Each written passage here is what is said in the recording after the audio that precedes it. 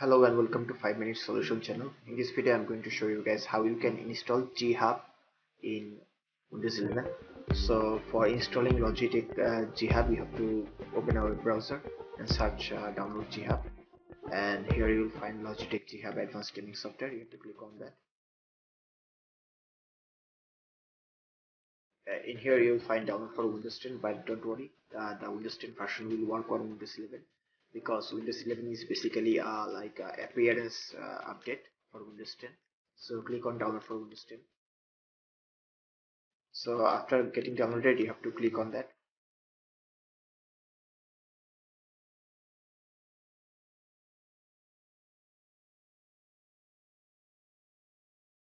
So for me it is uh, saying already installed because I already have installed it. So all I have to do is uh, like uh, you, you, will find here that install option in here.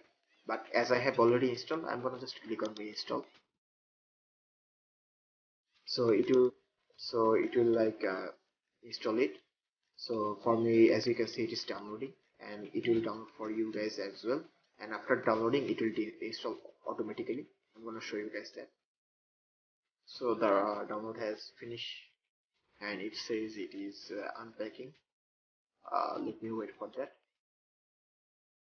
So now it says installing let it uh, install itself.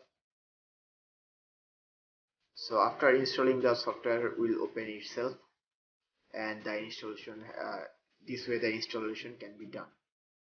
So after this uh, you will get an option to like uh, customize your settings so uh, here you can see like the Logitech G Hub start uh, options. And here they will guide you how to like configure this software. So if you want more videos like this then like comment and subscribe. And also thank you very much for watching this video